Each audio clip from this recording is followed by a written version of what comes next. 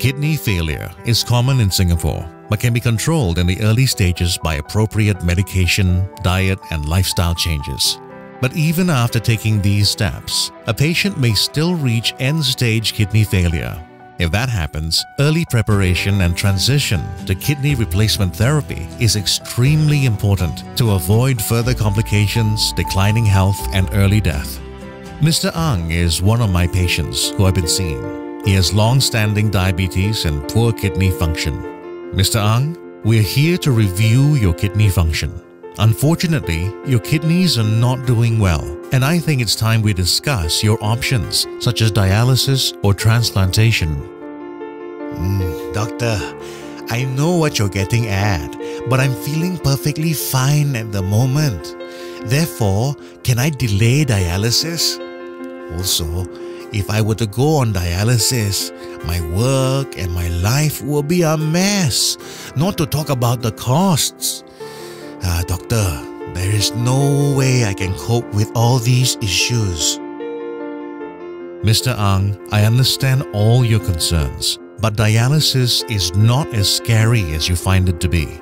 There are avenues of help available for you also, there are many people on dialysis who are still working and continue to lead fulfilling lives. We have counselors trained to discuss all the available options such as transplantation or dialysis with you and your family.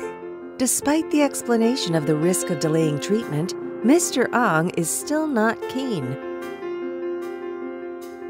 Unfortunately, Mr. Ong delayed his dialysis and was rushed to the emergency room with shortness of breath a few months later. Mr. Ong was admitted to the intensive care unit as he required urgent dialysis, where a temporary dialysis catheter had to be inserted into a major blood vessel. His wife and daughter were extremely worried as Mr. Ong was critically ill.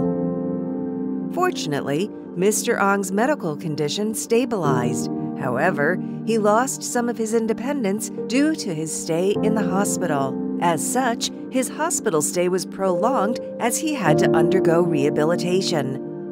This resulted in higher medical bills, and unfortunately, Mr. Ong lost his job he so wanted to keep.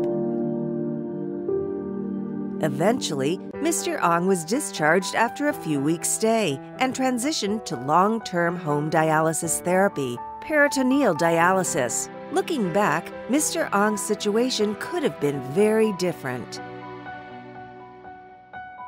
I got to know some fellow patients after I was discharged who underwent counseling and started on dialysis as outpatients I hear their transition to dialysis was smooth without a need for a prolonged hospital stay. It is very important to start preparation early for dialysis to avoid complications.